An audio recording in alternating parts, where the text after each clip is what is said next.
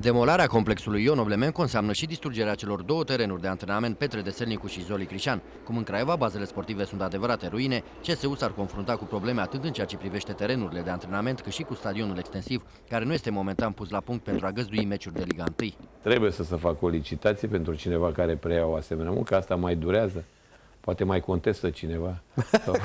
mie, mie, uh, Totdeauna rău unuia e bine Nu, m-a bucurat pentru că poți să joci uh, meciurile în continuare normal. aici pe stadion, meciurile de casă, plus, uh, ți-am spus, antrenamentele.